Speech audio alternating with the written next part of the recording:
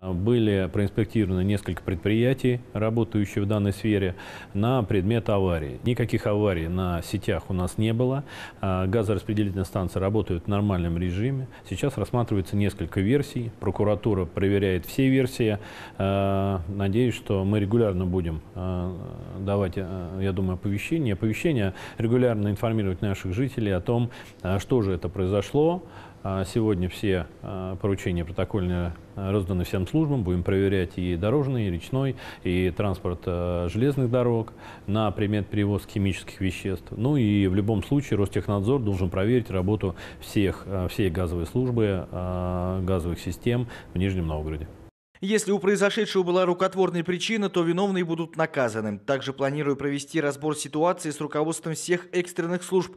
Очевидно, что оповещение жителей не было проведено должным образом. Предстоит сделать выводы.